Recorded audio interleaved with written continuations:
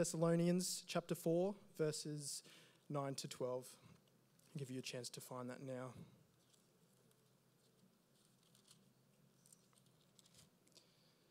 First Thessalonians chapter 4, verses 9 to 12. Hear now God's word.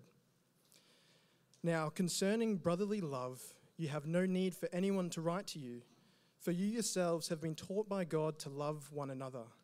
For that indeed is what you are doing to all the brothers throughout Macedonia. But we urge you, brothers, to do this more and more, and to aspire to live quietly, and to mind your own affairs, and to work with your hands as we instructed you, so that you may walk properly before outsiders and be dependent on no one. This is the word of the Lord.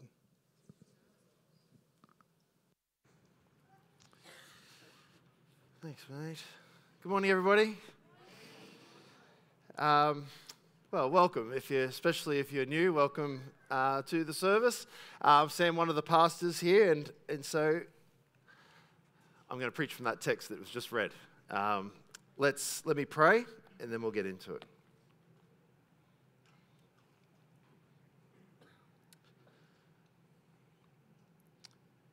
Well, Heavenly Father, as we come now to what really is the pinnacle of our worship, where we hear from you, having your word read, and now pray that you would help me to be faithful to it, that, that the things I would say would be true. And Father, ultimately, even in a passage like this, that you would show us the Lord Jesus. That would be enough for us today, forever.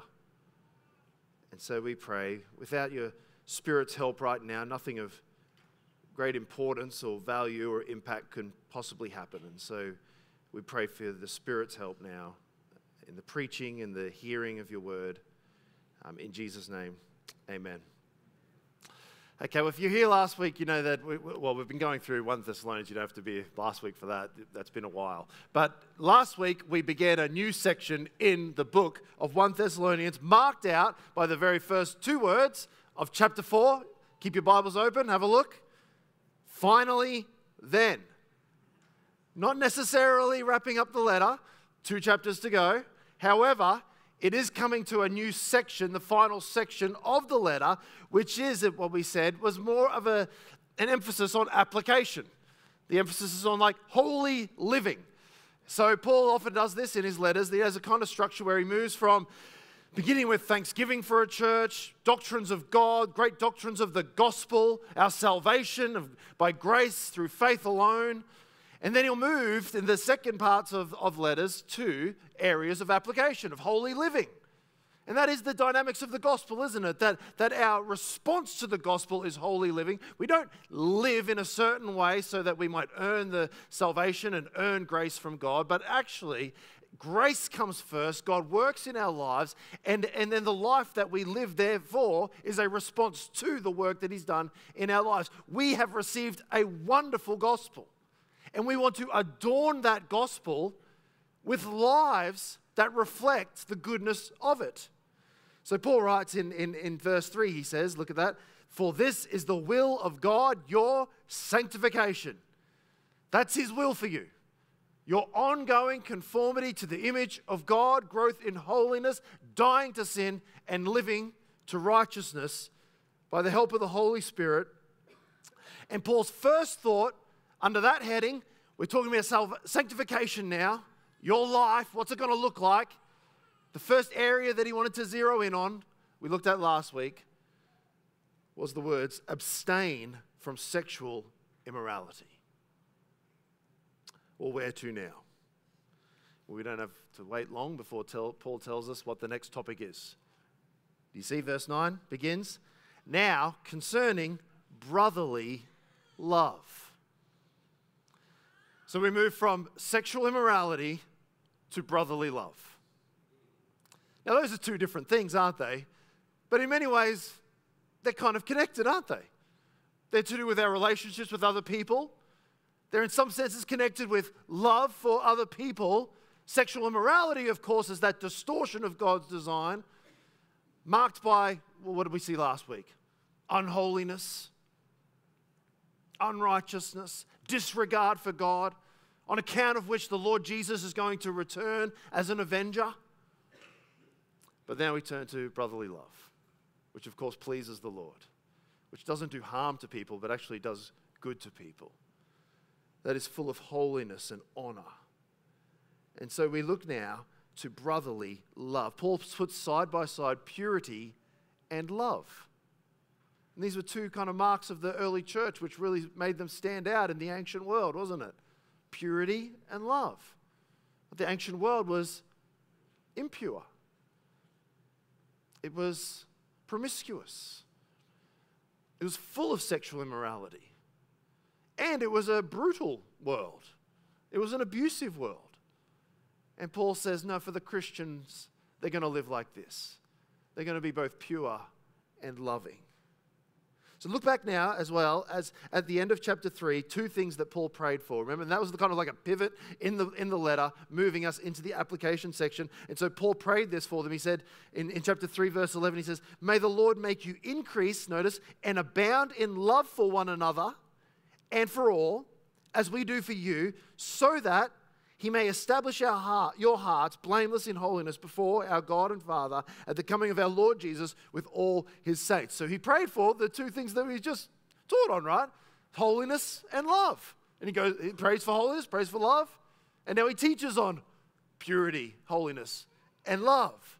I think that's a very helpful thing to notice that, and, and just see that Paul's dynamic in that. What he prays for, he works for, right? He doesn't, he doesn't um, just go for it himself. There's no, there's no self reliance here. I don't need to pray. I'll just, you know, I, have got the giftings and I've got the intellect and I can just kind of accomplish the things that I think need to be accomplished. And so I'll just go for it. No, he prays. Because without prayer, he can just talk till the cows come home. Unless the Spirit works, none of it's of any value or impact. But then, having prayed, he doesn't just sit back and do nothing. He prays and then he teaches. He prays and then he acts. Martin Luther responded when asked what he had to do that day. He once said, I have so much to do that I shall spend the first three hours in prayer. Isn't that good? I'll pray and act. And so, our passage, the structure for the passage is this we have a structure. How good is that? First, Paul describes the present state of their brotherly love. Second, the future of their brotherly love. And third, the purpose of their brotherly love. Okay? So, first of all, what is the state of their brotherly love? You know, in America, if you know those kind of um, politics over there, they have the State of the Union, and they go, here's where things are at right now in our country. And everyone, you know, if you're, if you're on the good, you know, the team that's happy for that, you clap, and if you're not, you boo and whatever. Anyway, don't boo. But Paul's saying, here's the state of the church right now. Here's the state of your love, Thessalonians. Verse 9. Now, concerning brotherly love, you have no need for anyone to write to you. For you yourselves have been taught by God to love one another. I love that. Isn't that good?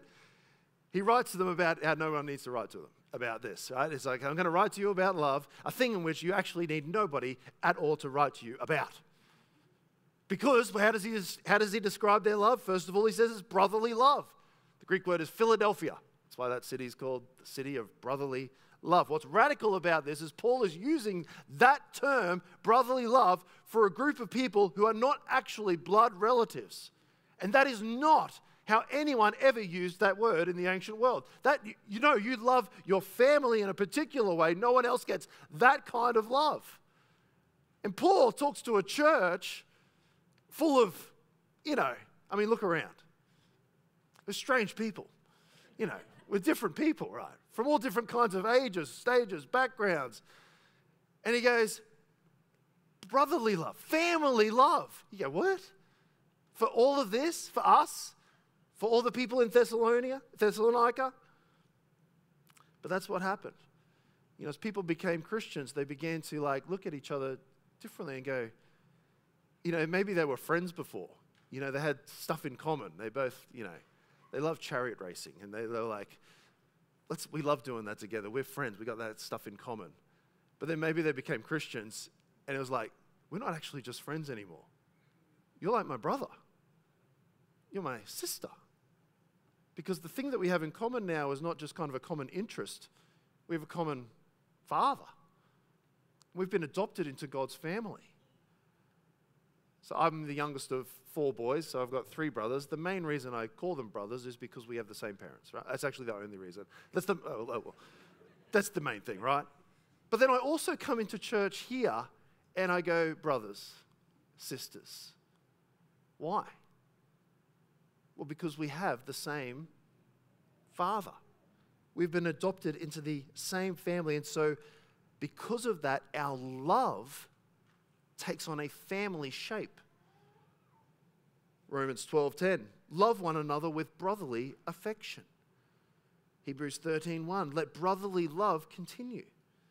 1 Peter 1:22 Having purified your souls by your obedience to the truth for a sincere brotherly love, love one another earnestly from a pure heart. We could go on and on and on, but is that is that just just test your heart right now? Is that the lens by which I see everyone else, my brothers and sisters, the other members in this church, do I see them in terms of family love from an earnest heart? That's what we're commanded. What is it about people here that draws out your affection? Is it when you find somebody who's like the same age group as you and you go, yes, oh, that's natural. That's good. That's natural. It when you find someone here and you're like, oh, you're, you're, you're interested in the same things as me? That's very natural, very normal. Nothing wrong with that. Or you find out, find someone, they have the same background as you. You're like, we, we, you're from there, I'm from there too. And you're drawn, like love's drawn out, and that's perfectly natural, perfectly normal. Nothing wrong with that. But when you find someone who you actually have not much in common with at all, but you go, oh, you've been You've been foreknown, predestined, called, justified, loved, adopted by God. Me too. That's not natural, that's supernatural. And that's what God does in His church. We become part of the same family. And so Paul says, Paul calls their love brotherly love. Notice what he also says about their love. He says it is God taught. That's why he says, you actually don't need anyone to write this letter right there, the letter that I'm actually writing. You actually need anyone to do that because you don't need, you've already been taught. You, it's not like I'm the only teacher going on in this church. You have another teacher. It's actually a very, very good teacher. He says, you have been taught by God to love one another. Right? And it seems Paul has actually invented a word for this. It's, he's kind of mushed together God and taught. And so it's theodidactoi. And it's, it's, it's God taught. You have, you're a church who is God taught. So Paul left them and he had to leave them, remember, after a very short time. He only got a few weeks with them. And he had to leave them, but they weren't left without a teacher. They had the Holy Spirit given to them at their conversion and the Holy Spirit had a teaching ministry in that church. And it seems like the focus of the, the teaching ministry in that church was love. Does that surprise us? That the Holy Spirit would be about teaching love? I don't think so. How's the fruit of the Spirit begin? Love. Jesus said, "Will know you, the world will know you are my disciples by your love." Paul talks about in 1, 1 Corinthians 13 that, you know, without love, I mean, you can do all kinds of things. You can do the most sacrificial things in the world. You can do the most miraculous things in the world. You can have this kind of crazy faith that achieves so much. And if you, you're missing this thing, love, you're nothing. And everything you're doing is nothing. He'll also say that love fulfills God's law, Romans 13, verse 8. Listen to these words owe no one anything except to love each other. For the one who loves another has fulfilled the law. For the commandments, you shall not commit adultery, you shall not murder, you shall not steal, you shall not covet, and any other commandment are summed up in this word you shall love your neighbor as yourself. So you think about the Ten Commandments, eh, maybe you just maybe didn't notice it. None of them are about how you think about yourself. They are all about love.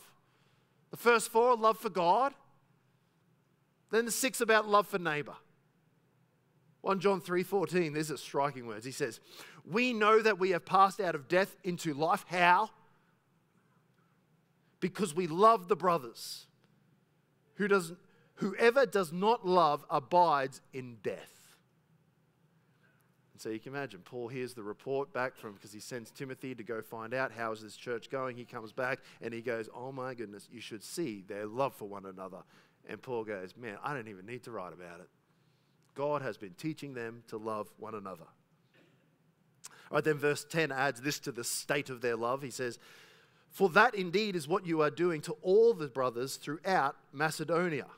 So their God taught brotherly love is, is so full. There's no kind of lid on it. It's like, that's just for our community and we're, we're like super tight and super loving. It's just that the lid is off and it is overflowing to all of the saints throughout all of Macedonia. When they see another brother and they see another sister, they're like, oh my goodness. What an awesome, we don't, we're not told what that actually looked like, but what an awesome reputation. Oh, that would be our reputation. We love all the saints. We love all our brothers and sisters. So that's the state of their love, okay? Sounds pretty good. What next? Well, Paul has four things about the future of their brotherly love. First thing is this do it more. Right? Do you see that? End of verse 10. But we urge you, brothers, to do this more and more. So he's passionate, he's pleading. I'm urging you, do not stop, do not pause, do not loiter when it comes to love. The great missionary David Brainerd wrote this. He said, I love to live on the brink of eternity. May I never loiter in my heavenly journey. Because, of course, if, if it, when it comes to like love and loving for one another, if we begin to like coast, what happens to love? Well, it grows cold. And so here we are. Here we are, Coomera Baptist. We've been in this series for a little while, and, and, and, it's been an encouraging series. I hope it has been for you because at various different times we've been able to look at what Paul's thankful for in, in, in the church in Thessalonica, and, and at various times, uh, I know I have said, Praise God, I'm thankful for the same thing here. There's, there's, there's, there are amazing, extraordinary acts of love, ordinary as well, but just love in this church. So thankful for, to God for that. It's so encouraging. Now don't stop. Paul would say, now do it more and more. How quickly love, how quickly we can lose love, how quickly we can become selfish, how quickly we can become consumeristic, how quickly we can become competitive, how quickly we can become gossips, busybodies. No, let's keep going.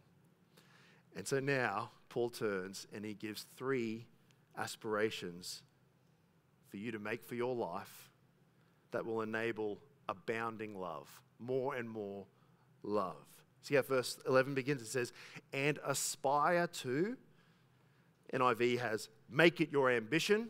NLT has make it your goal. So we are talking about goals and ambitions this morning, okay? You didn't expect that, did you? But just consider me your life coach right now, and I'm going to give you some goals and ambitions for your life. This is just a sweet spot for me. No, it's not really. Um, Paul wants a primary consideration when you think about goals and ambitions for your life. He wants a primary consideration to be brotherly love. Right? In our culture, we're like, ah, oh, okay, you don't understand what goals and ambitions are about, Paul. You don't really understand. They're actually all about me. Right? They're about me and my dreams out of me and my hopes and, and ambitions. And then I, want to achieve this and I want to do this and I want to kind of leave my mark on the world. And, and so that actually the main thing when it comes to laying out my goals and ambitions for my life is actually to forget about other people. They're going to get in the way. I don't get, you need to not think about what they think. Put them to the side and consider what, what do you want. I remember um, thinking about this. I remembered a kids' movie that um, I forgot to mention this to them. Sienna and um, Jada used to watch this movie. I was going to check with them, but we're good. And um, anyway, Sienna, it was Sienna's 10th birthday party, and um, they, they loved this movie called The Princess Protection Program. Does anyone know that movie? All right, if you haven't seen it, don't rush. It's, it's, um, it's, it's not like it's not what I would call a must see, but it, um, but it is an interesting movie about a princess needing protection. Um, now, it was Sienna's 10th birthday party, and lots of friends were over, and so the movie got put on. And, and so there it begins. And, uh, you know, I'm, I'm not really in the room, I'm more in the kitchen, but I can hear the movie. And as the movie begins, a song starts playing. And the song goes like this Do what you want to do, be what you want to be. A line I can't understand. Then, there's no mystery. Say what you want to say. Tomorrow's another day. It's good, isn't it? Poetry. But here's the news nobody's stopping you. Do what you want to do. And I could hear it, and I was triggered. And, and so I just popped my head into the room and said, loudly, That song has bad ideas. and then left it at that. Just drop that seed, see if it grows. Okay? That was like seven years ago. We should check in, see if they remember that. Theologian Michael Horton wrote a, a great book called Ordinary. He makes the point that actually the word ambition, up until recently, was only ever considered to be actually be a negative word. It's not something you would encourage in somebody. Because it was tied so closely to self, me, what I want to do. And I will trample other people to get what I want. And so you'd never encourage it in somebody. That's why um, in, in, many um, newer translations of the Bible, when it comes when, when ambition comes up as a topic, they'll always add in the extra kind of modifier at the start, selfish ambition. Just so the modern mind can get a head around, oh, ambition could be a bad thing. But, but in older translation, just says ambition. And so the New Testament often puts selfish ambition as the opposite of love, the opposite of brotherly love. I think of Philippians 2, verse 3, which says this Do nothing from selfish ambition and conceit, but in humility count others more significant than yourselves. You see, like selfish, like ambition is like conceit, pride. You just think, I'm, I'm more significant than everybody else. That's what ambition means. But instead, don't do that, but consider other people more significant than yourself, Paul says. Um, it's what's, what's uh, I don't know if you've heard this phrase, it's been going around a little bit like recently main character syndrome. Have you heard of this? Main character syndrome. It's where if someone might go through, the, through their life thinking, well, if my life is a movie, I really am the main character of this movie and I'm the star of the show, and everyone else is kind of bit part role actors, and they've just they're actually very lucky to be in my movie, and and they should thank me pretty often for actually the privilege of being part of my show we look at the Bible, how does ambition go? You might say Satan had ambition. He just had ambition. He wanted more than just being an angel serving the Lord. Adam and Eve, you might go, just a couple people with some ambition in their lives. They just wanted some more, you know. They wanted to get higher. Did that result in brotherly love? No, they turned on each other. We think about that other great moment of ambition where everybody got together and said, let's build a tower. That's, it, what great ambition you all have. Let's build a tower to heaven. Did that result in brotherly love? No, only division. So when Paul comes to in 1 Thessalonians and he starts saying, aspire to this, make this your ambition, make this your goals, you go, huh?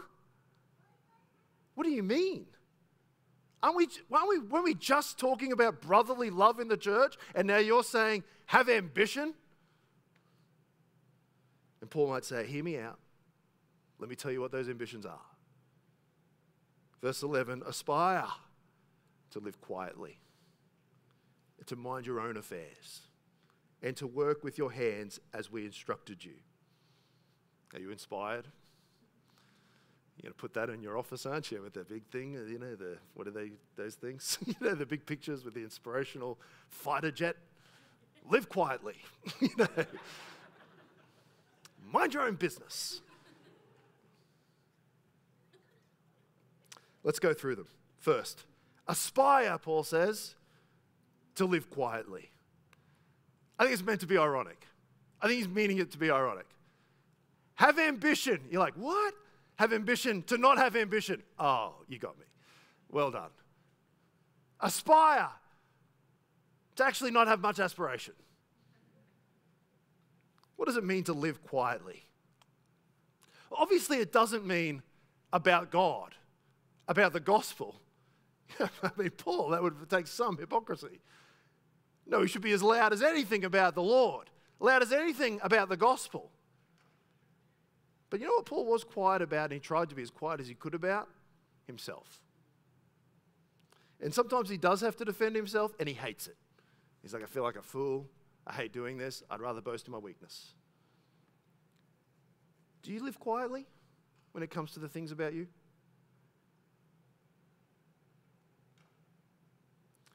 Social media is obviously a slow moving target when it comes to this. Are you living quietly? You know, social media began and, and um, you know, there's MySpace. I don't know if you remember that. But it really triggered something where, where you become the product, where you're the brand. And it's putting myself out there. And so, when that's the case, you best be loud and proud. That's how it works. That's how you get the attention. I hope this isn't controversial, but I don't think this song is a biblical song. I got the eye of the tiger, a fighter, dancing through the fire, because I am a champion and you're going to hear me roar louder, louder than a lion, because I am a champion and you're going to hear me roar. Me, I, louder. Now, I honestly think, while pointing the finger, I think pastors and churches, as, as I was thinking about this, can fall into this culture. And, and I'm sure I have. Look what I'm doing. And, you know, it's almost like a, a brother can't, maybe he just can't do anything unless it's told to everyone. and I did this over here, and I did this over here, and I've been speaking over here, and I've, I actually went over here. And did I really do the thing unless I told everybody that I did the thing? And then when it comes to my church, let me tell you about it. It's epic. It's huge. It's breakthrough stuff. It's once in a lifetime things. We are movement leaders of leaders of leaders, and we are ch- uh, system changers of all kinds. And you really don't want to miss a single, well, particularly this Sunday, because it's going to be particularly breakthrough epic. I was messaging um, with a couple of friends. I hope this is not self-indulgent. I was messaging with a couple of friends. One's a pastor, and one's just another good mate. And our challenge in our messages was to um, was to speak in as many of the latest kind of church leadership buzzwords as we possibly could. And it uh, kind of went a bit like this. Just a brief so I said to my friend, My friend, you are an influencing catalytic leader of movements for creative minority cultural engagement. And he responded, I need to take a deep dive into this touch point. The hope, the hyper-local synergy that is manifesting within this space is countercultural. And then the other friend said, If I can raise my view above the tree line and look down over the forest, I have a vision of a leader of leaders that is influencing the next generation of kingdom leaders of leaders that is going to saturate the forest like mountain dew, manifesting with missional incarnation. and on and on it went for way too long. I don't know if you've seen um, the Lego movies, um, but there's a transition that happens. So in the first Lego movie, you got Emmet, and like everything is awesome. I think that that like that's how we like can be brought up into that culture. It's like everything is just awesome. It's awesome. How's this? Awesome. You walked in this morning, someone said, How? Awesome. But then they like correct it in the second movie. Do you remember the end of the second movie? They have another song and it goes like this, and I like it. Everything's not awesome. Things can't be awesome all the time. it's an unrealistic expectation. But that doesn't mean we shouldn't try to make everything awesome just in a less idealistic kind of way. We should maybe aim for not bad. Because not bad, well, that would be real great. I'd love to promote a Sunday service, more like the second song. This Sunday, it's going to be a lot like last Sunday. For, for, and the one before that. They're all pretty similar. We'll get together with God's people and we will sing and we will read God's word. We'll pray. God's word will be preached, the Lord's Supper, and uh, we'll go home. And those are ordinary things. But here's what we think God will show up. In all those ordinary things, God will show up. What is our membership in a church for? Is it to express brotherly love? Or is membership in a church about ambition?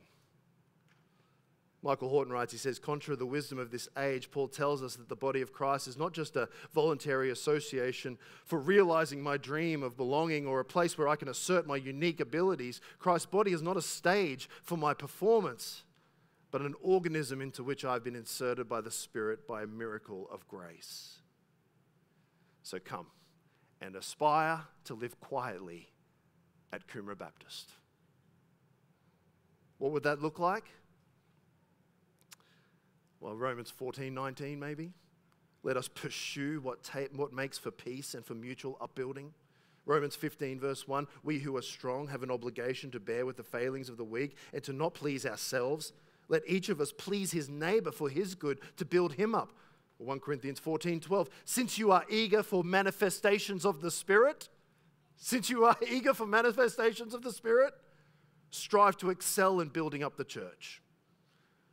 Romans 12:10. Love one another with brotherly affection. Outdo one another in showing honor. Okay, so you want competition. Here's a competition for you. You can outdo one another how?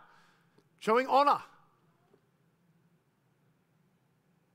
So let's be loud for Christ, even loud for others, but let's be very quiet about ourselves, almost a whisper about our own goodness and achievements and you know, when Paul writes uh, to the Philippians and he says, Do nothing from selfish ambition or conceit, but in humility count others more significant than yourselves. Let each one of you look not only to his own interests, but also, the, also to the interests of others. Who's his example straight after that of what that looks like? It's the Lord Jesus. Who, though he was in the form of God, did not count equality with God a thing to be grasped, but emptied himself by taking the form of a servant being born in the likeness of men and being found in human form, he humbled himself by becoming obedient to the point of death, even death on a cross. Be like Christ. Lowliness, humility. All right, there's your life ambition number one. All right, I've got another one for you. Paul does. Life ambition number two aspire to mind your own affairs. Now, I'm actually thinking about this. I was like, I'm nervous that we walk away with the wrong idea there are ways that we should be about each other's business and in each other's affairs. I, we just read Philippians 2, verse 4. Let each of you look not only to his own interests, but also to the interests of others. Just later on in 1 Thessalonians, Paul's going to write this. He says, We urge you, brothers, admonish the idle, encourage the faint hearted, help the weak be patient with them all. See that no one repays anyone evil for evil, but always seek to do good to one another and to everyone. So Paul can't be contradicting himself right now, commanding something that he's going to kind of contradict later on and say, no, actually, be about other people's business. But there's a way of getting involved in other people's lives which is actually not brotherly love. It's actually self centered. It's all about you. In 1 Timothy 5:13, he warns of people who learn to be idlers, going about from house to house, and not only idlers but also gossips, busybodies, saying what they should not. So they're in other people's affairs, but it's more meddling and it's being a busybody. It's a big issue in, in the second letter that Paul will write to the church in Thessalonica. He says, 2 Thessalonians 3, verse 11, and we hear that some among you walk in idleness, not busy at work, but busy bodies. Now, such persons we command and encourage in the Lord Jesus Christ to do their work quietly and to earn their own living. Because instead of being busy at work, you're being busy bodies. And you're getting all in other people's business, and it's not out of love. You might not say it like that. You would say, No, I'm just concerned, right? I'm just looking for more prayer points so I can be praying. But no, you just actually enjoy drama. You enjoy stirring. You enjoy being in the know and spreading things. You're in other people's affairs. You should be worried about your own affairs. Paul says, make this your ambition and your aspiration in your life to mind your own affairs. It's so much easier to look at other people's problems, isn't it, than your own? Isn't it? Isn't it so much easier to go, I, just, I know how to fix their problems than fix your own problems? It's easier, like, it's easier to have, put it there, it's easier to have opinions about Donald Trump than to do the dishes. Don't you find? I do. Kevin DeYoung once tweeted, he said, Everyone wants to change the world, change a diaper first. Um, the author Tish Harrison uh, Warren uh, wrote uh, pretty profoundly, I think, about her own story. She wrote about her desire in her early 20s to be a kind of change the world Christian. And she, and she did amazing things. She went overseas and, and, and, did, and did good things around the world. But then she writes about it, and, and I'm going to read it.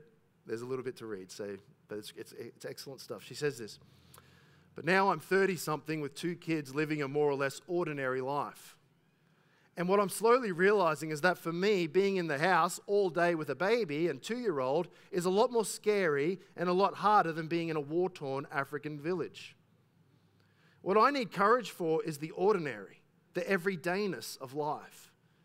Caring for a homeless kid is, a homeless kid is a lot more thrilling to me than listening well to the people in my home.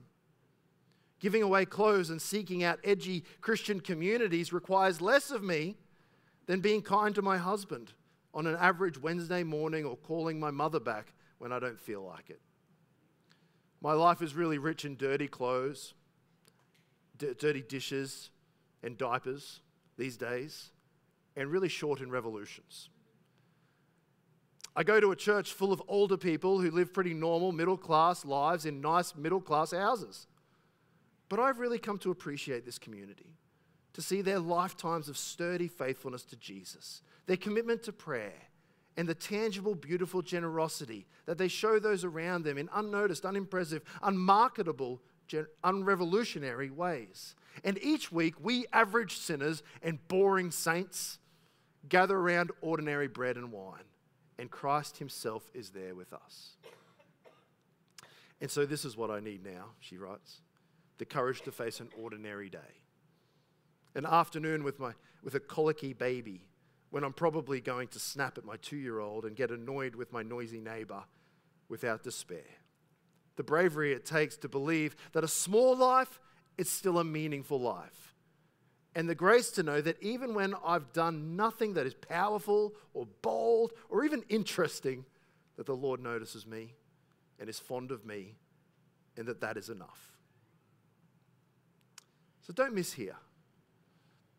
Don't miss here what, what, what, what's being said.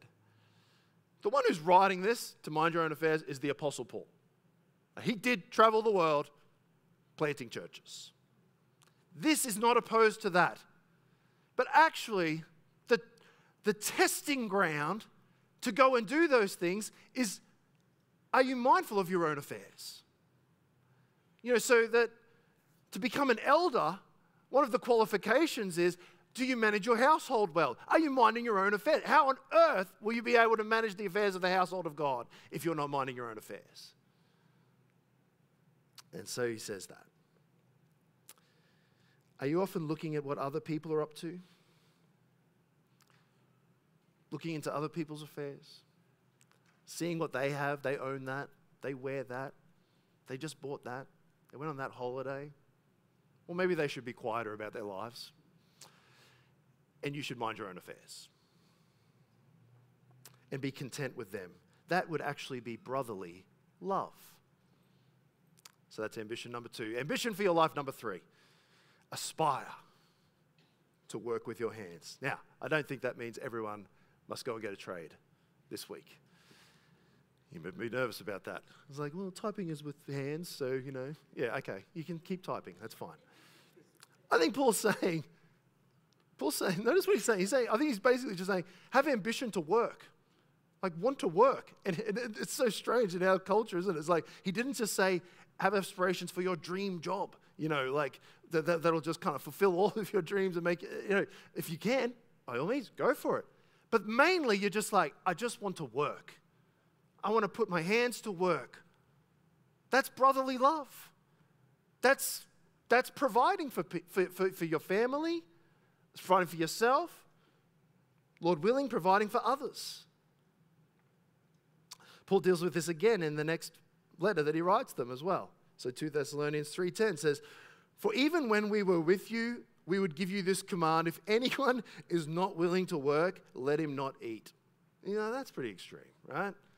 But they'll get the picture pretty quickly, right? I think he's, he's, he's, he's banking on they'll get it. By about dinner time, they're going to start working. There you go.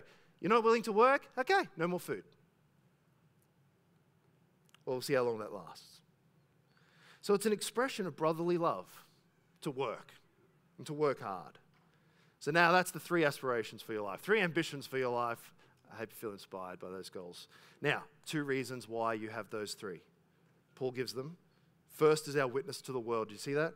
Verse 12, so that you may walk properly before outsiders. So we do those things and we live in this way because it's about our reputation in the world. The ambitions that you make for your life is part of your witness to the watching world. So that our world, which is, I mean, let's, let's face it, a confused world, a lost world, a, a, a searching for meaning world, probably just so sick of hype Everything is so hyped, and everyone is so look at me and look at me and look at me and look at this, and you've got to be part of this. And they're just exhausted by it all. And maybe the, that person walks into the church and goes, I hope there's something different. And if they poke their head in and go, oh man, more hype, more self, look at me, they'll just walk straight out. You don't have anything to offer. What do we have to offer? What is the proper way, Paul says? Paul says, so that you may walk properly before outsiders. What is the proper way for a Christian to walk? A Christian, what is a Christian? A Christian is someone who's been saved by the grace and the mercy of God, not by performance, not by their kind of stellar resume of achievements. They've been loved by God despite their sin. And they've been included and accepted by Him, adopted into His family. They are heirs with Christ with riches in heaven for all of eternity. They have stopped needing to be loud about themselves. They are able to mind their own affairs. See, a gospel like that, a gospel of grace, cannot possibly be adorned by self promotion. These things just obviously don't go together. No, they are adorned, though, that such a gospel would be adorned by brotherly love. It would be adorned by quiet, faithful lives, minding the ordinary affairs of our lives and working hard. Those are good members of a church, but they happen to also be great members of society. And the world might look at that and go, hmm, there's something on offer here. I would like to know what makes the difference. There was an article, you know, The Onion? Um, the Onion's like a satire news online thing. There was an article that, that ran, um, so this is fake, right? It's not real. Uh, but it kind of gets to this point of their reputation towards outsiders. It says, it says this, I'll just read some of it. It says, Long-time acquaintance confirmed to reporters this week that local man Michael Husmer, an unambitious 29-year-old loser who leads an, un- who leads an enjoyable and fulfilling life, still lives in his hometown and has no desire to leave claiming that the aimless slouch has never resided more than two hours from his parents and still hangs out with his friends from high school. Sources close to Husmer reported that the man who has meaningful, lasting personal relationships and a healthy work life balance is an unmotivated washout who's perfectly comfortable being a nobody for the rest of his life. I've known Mike my whole life and he's a good guy, but it's pretty pathetic that he's still living in the same street he grew up on and, and experiencing a deep sense of personal satisfaction childhood friend David Gorman said of the uninspiring, completely gratified do nothing. He's nearly 30 years old, living in the exact same town he was born in, working at the same, so same small time job, and is extremely contented in all aspects of his home and professional life. It's really sad. Additionally, pointing to the intimate, enduring connections he's developed with his wife, parents, siblings, and neighbors, sources reported that Husmer's life is pretty humiliating on multiple levels. He doesn't care about impressing total strangers every day as he climbs the corporate ladder when he can invest in the lives of those closest to him. He doesn't have a thousand friends on Facebook, just a close family and circle of friends in town. Quote, I'm just glad I got out of there and didn't end up like Mike, said Husmer's cousin.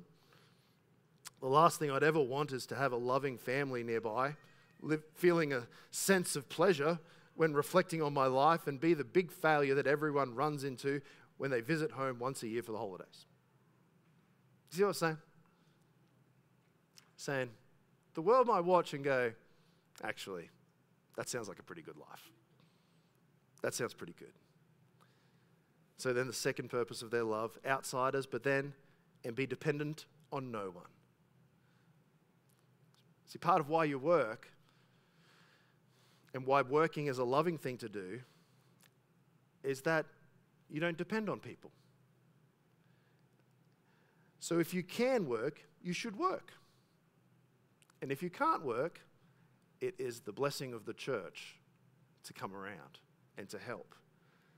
John Stott writes, he says, It is an expression of love to support those who are in need, but it is also an expression of love to support ourselves so as not to need to be supported by others. So that's our passage. What we're talking about is ambitions for your life this morning, goal setting. Brotherly, family, Christian love means quiet, humble lives, minding our own affairs, working hard to provide for ourselves, provide for others. Wonder if that's enough for your life. You're like, I'm not sure that's enough. I hope it is. I think it can only be so in our day through the gospel, surely. That already the verdict on my life has been made. God has said, You are righteous. God has said, He loves you. God has said, You're accepted into my family. God has said, You have an eternity waiting for you. So don't feel like you've got to build up yourself. I don't think this is about living a mediocre life, not doing anything well. We try to do things well, but they're very ordinary things, aren't they? And that's how revivals have happened throughout the history of the church. God has taken ordinary things like prayer, preaching, evangelism, and just given extraordinary grace on those things. And so God uses ordinary things. Don't, don't get disheartened. You might have sat through this morning and thought, what is happening here? This seems very ordinary. what has happened here this morning? Uh, honestly, not that spectacular. If we went through it, we don't need to. You were here. But let's be real. But God is here. And what's He been doing? By His grace, He might be drawing and justifying sinners, sanctifying our hearts, changing our affections for the things of the world to Him getting us ready for the return of the Lord Jesus, unifying his people. Awesome things, amazing things. And the kingdom of God is like a mustard seed, smallest of all seeds, but it grows steadily, but it grows. And it fills the whole world.